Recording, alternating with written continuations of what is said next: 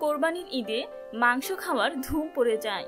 আর এ সময় অপরিকল্পিতভাবে খাবার খাওয়ার ফলে যে কোনো বয়সের মানুষ অসুস্থ হয়ে পড়ে। তাই কোরবানির মাংস খেতে হবে পরিকল্পিতভাবে।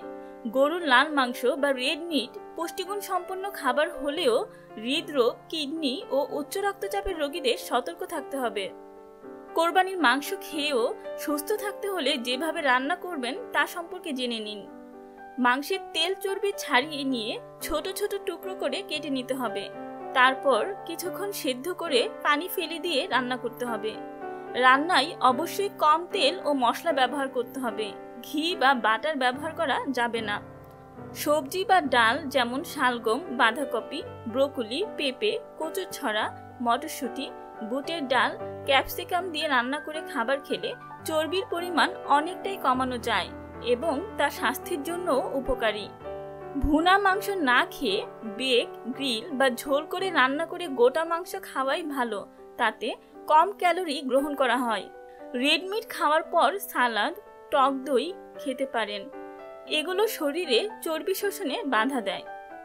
এবার জানুন, হৃদরোগ, কিডনি ও উচ্চ রক্তচাপের রোগীদের দৈনিক কী পরিমাণ লাল মাংস খেতে হবে? একজন সুস্থ মানুষ দৈনিক পঁচাশি গ্রাম মাংস খেতে পারবেন।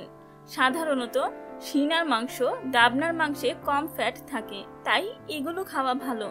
হৃদরোগ ও উচ্চ রক্তচাপের রোগীদের সম্পূর্ণভাবে চর্বি জাতীয় মাংস বর্জন করতে হবে। এক পিস কিংবা দুই পিস লাল মাংস খেতে হবে। বেশিরভাগ কিডনি রোগীদের উচ্চ রক্তচাপ ও হৃদরোগের সমস্যা থাকে।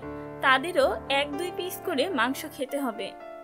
মাংস খাওয়ার সতর্কতা সম্পর্কে জানুন।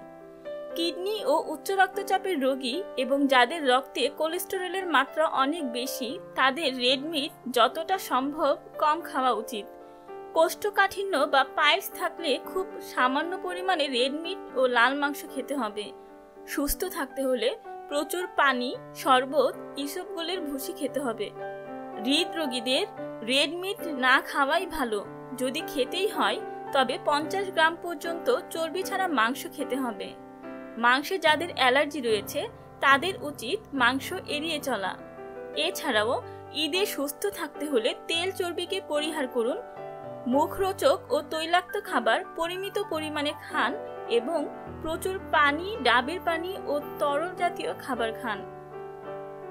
বন্ধুরা, কেমন লাগল আমাদের আজকের টিপস? এরপর স্বাস্থ্য বিষয়ক কোন বিষয়ে টিপস জানতে চান তা মন্তব্য করে জানান। আমাদের হিল লাইফ চ্যানেলটি সাবস্ক্রাইব করুন এবং সবার আগে কার্যকরী টিপস সম্পর্কে জানতে বেল বাটনে ক্লিক করুন। ভিডিওটি ভালো লাগলে লাইক দিন এবং আপনার বন্ধুদের সাথে শেয়ার করুন। সুস্থ থাকুন, সুস্থ রাখুন।